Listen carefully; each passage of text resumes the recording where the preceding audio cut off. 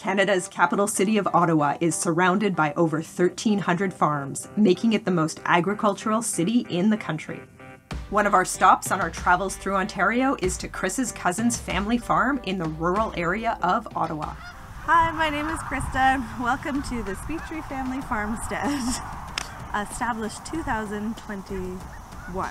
Krista and her family bought this land two years ago and have developed it into a farm with crops, animals, and gardens.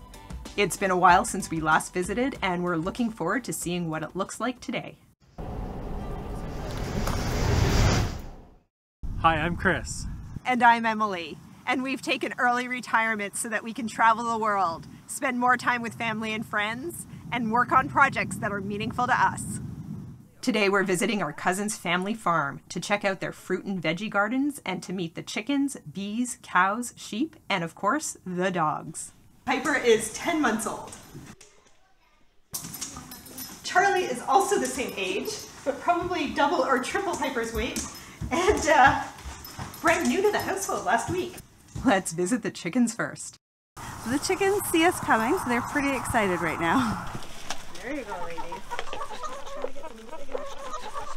So we have two, four, seven, eight, nine eggs so far today. Next up, we check out the apiary that Krista is starting. They're, it's cold, so they're kind of, you can, if you want to take a look in there, they, they're, cut out right now because it's pretty chilly. Krista also grows lots of veggies on the farm. Summer squash, watermelon, butternut squash. We will let the chickens come in here and clean this up. Probably before I plant the garlic. So they'll come in and they'll just feast. They are not allowed in otherwise, hence the fencing. So all of these marigolds uh, I've grown from seed, which I feel is a, a major accomplishment of mine. I'm not actually much of a gardener. this is the barn. Oh, hello. You guys are right here. So this is Elsie, Franca, Gina. So in 2020, right um, in the middle of COVID, we made some really big life changes, thinking about what was important to us. And I had decided that I would really like to be closer to my family, who's around the Ottawa area.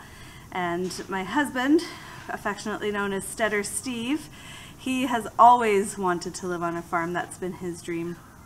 All the pieces came together, everything aligned in, um, I think it was May 2020. The housing market in southwestern Ontario really exploded. Hadn't caught up here in the Ottawa area, so we were able to sell our home and um, bought a farm, kind of on a whim, in, in um, just in a weekend. this is Charlie, our very ferocious livestock guarding dog. We got him last weekend to protect the eventual lambs that we'll have on the farm. But so far he is a house guardian dog. This is our bull Duke, and he was born on the farm in February. It was very exciting for us. I've been told he's quite a good looking bull. This is the greeting committee.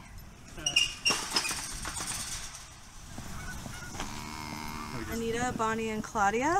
And those these are the three that are always spilling the tea. Looks like we've got some hay coming.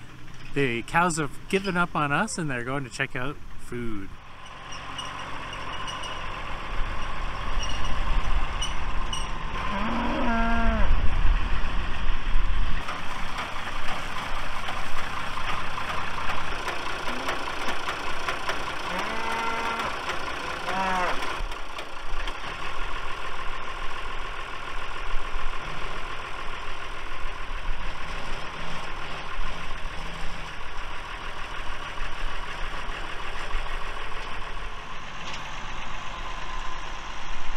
So far, it's been an amazing adventure. Uh, thank goodness Stetter Steve is as handy as he is. He built this barn in literally two months by watching YouTube videos. Our children are just thriving and it's pretty fantastic to see what they're learning, how comfortable they are with animals, and really we're trying to teach them that connection to their food and where it comes from and the land.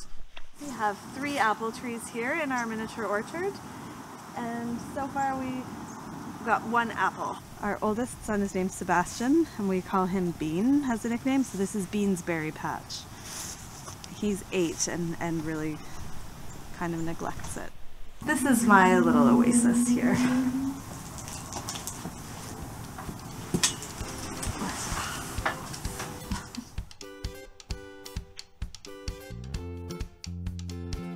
And that's our time on the farm. We hope you enjoyed this video and we'll see you in the next one.